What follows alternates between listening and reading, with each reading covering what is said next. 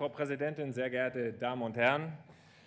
Wir Freien Demokraten haben ja bekanntermaßen ein modernes, innovatives und optimistisches Weltbild und deswegen wollen wir auch ein modernes, innovatives Schleswig-Holstein erreichen. Und dazu,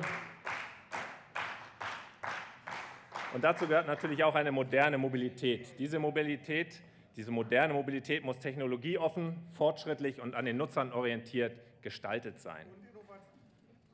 Mit der weiterentwickelten E-Mobilitätsstrategie des Landes setzt Jamaika genau dieses Zeichen.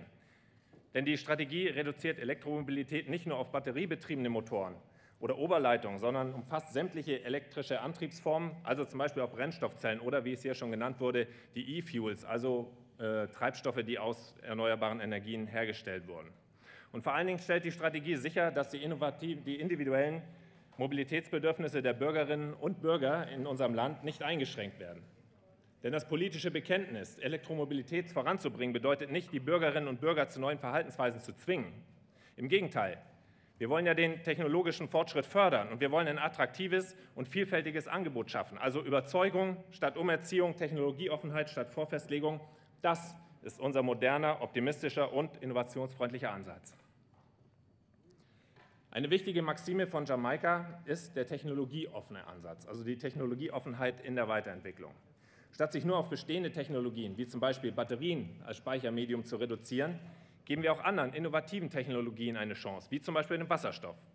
Unser Land kann innovativ sein. Dieser Ansatz fördert Vielfalt und Innovation. Dieser Ansatz ist ein klares Signal auch an die Wissenschaft, dass die eindrucksvolle und engagierte Forschung an neuen Technologien so wichtig ist und weiter vorangetrieben werden soll. Und dieser Ansatz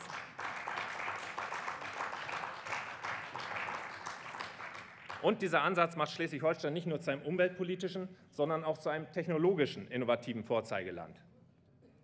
Die Bundesregierung hat ja unseren Jamaika-Ansatz vergangene Woche im Grunde bestätigt, indem sie die neue Plattform Mobilität der Zukunft eingerichtet hat, die sich nun nicht mehr ausschließlich nur batteriebetriebenen Fahrzeugen widmet.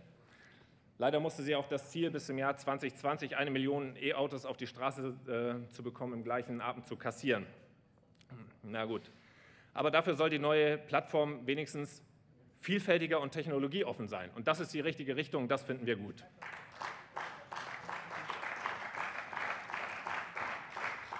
Dass wir in Schleswig-Holstein diesen Weg bereits beschreiten und es ernst meinen, zeigen unter anderem die verschiedenen Initiativen Entschuldigung, zur Sektorenkopplung, die der Minister auch schon genannt hat, oder auch die momentan laufende technologieoffene Ausschreibung für 52 emissionsarme Triebwagen im Schienenverkehr. Auch das wurde bereits genannt.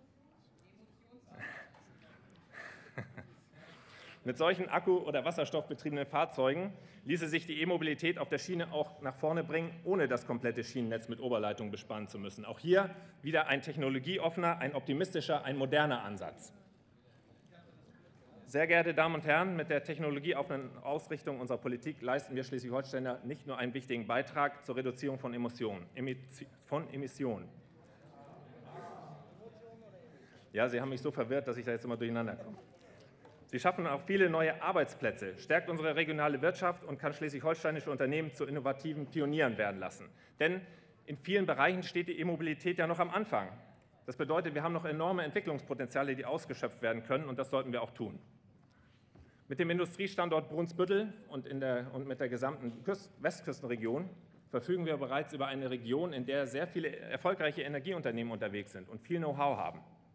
Und wenn wir unsere Anstrengungen in der Sektorenkopplung in der Entwicklung leistungsfähiger Speichermedien, in der Schaffung neuer Infrastruktur, beispielsweise zum Transport von Wasserstoff, weiter ausbauen, können wir auch noch viel mehr erreichen. Das hätte wichtige umwelt- wie auch industriepolitische Auswirkungen, denn das ist natürlich gut für die Ansiedlung neuer Unternehmen und die Schaffung neuer Arbeitsplätze, qualifizierter Arbeitsplätze auch.